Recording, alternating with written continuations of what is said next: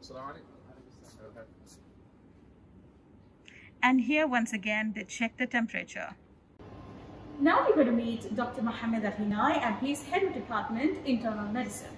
So, doctor, welcome to Oman Observer. Thank you. Could you tell us, um, since uh, COVID-19 cases, what has been the way you changed at looking at patients uh, in terms of internal medicine?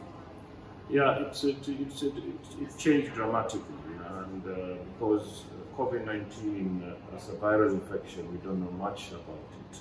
Uh, and worldwide, there, have been a lot of study about it and how it's, uh, it's, it's, causing damage to the body and uh, respiratory system. So we've been following the guideline, WHO guideline, and then it will be he will be examined and then uh, being tested. If he is highly suspected, then we, we will uh, get him admitted if he's really symptomatic in a separate ward. And then those who have become positive, then we cohort them in another ward. So they will be separate in, in, in, in cohorting them. Yeah. What is the difference in treatment they get in, in, in totality once they're the ward for positive patients? Yeah, in, in, in, those who are suspected, we are not really sure it's COVID-19 or it's a respiratory tract infection, a normal respiratory tract infection.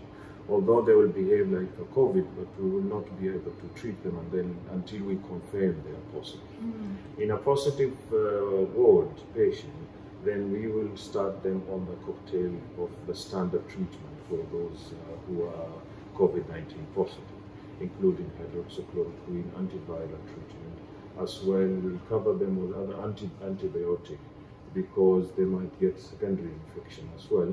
And in addition to that, as you know, recently that uh, they say that there is a pro-inflammatory problems and inflammation and as well thrombosis. So mm. we do cover them with prophylaxis with anticoagulation treatment as well. And did you also try plasma transfusion here? No, no, not, uh, we, we, we didn't uh, start here. yet, but I think in the Royal Hospital Royal. they mm -hmm. attempted, mm -hmm. and uh, I'm not sure about the results. Okay. Now, uh, Doctor, now the, the attention of the world media is that COVID-19 uh, actually has inflammation. It's not pneumonia, which is a concern, but actually blood clots. Have you seen similarities in yes, the cases yes, here too? Yes, we do. We do have, and we've proven that by, by investigations, mm -hmm. blood investigation, including uh, radiological feature like a CT scan of this mm -hmm. patient. It shows that there is thrombosis in the in the in the respiratory in the pulmonary vessel of the respiratory system.